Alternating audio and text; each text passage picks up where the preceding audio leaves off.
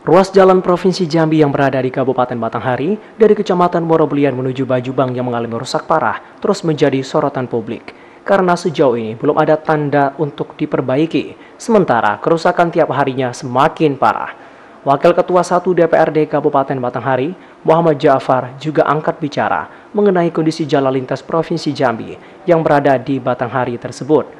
Menurutnya, jalan ini merupakan akses utama warga dari Bulian menuju ke Kecamatan Bajubang. Bahkan, pada pelaksanaan hari ulang tahun Batanghari ke-75 lalu, Gubernur Jambi Al-Haris juga menyampaikan akan segera memperbaiki jalan tersebut, namun sampai saat ini belum diperbaiki.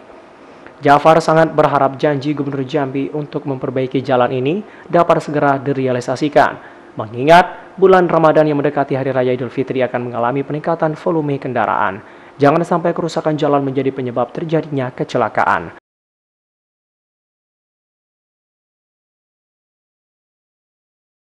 Janji daripada Pak Gubernur ketika kita melaksanakan eh, rapat paripurna peringatan hari ulang tahun Kabupaten Batanghari, beliau menyampaikan di dalam rapat paripurna bahwasanya eh, yang eh, ruas-ruas jalan provinsi di dalam Kabupaten Batanghari khususnya dalam kota Kabupaten Morobulian ini akan segera atau cepat diperbaiki. Tapi sampai sekarang eh, belum ada tindak lanjut dari Bapak Gubernur.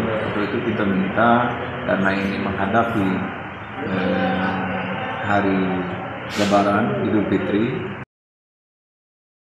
Batanghari, Agustian Bungo TV.